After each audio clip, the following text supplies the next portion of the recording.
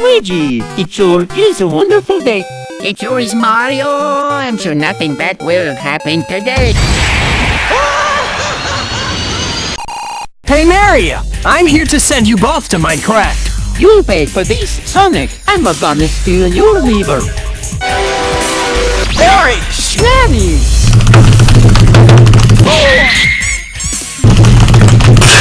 Never be able to defeat me, Maria. Not when I have the power of the Let's Player Emeralds. No, please, Sonic, don't turn yourself into an epic gamer. Now I'll show you! Uh, what up, Sonic Squad? Today I'm gonna teach you how to get very...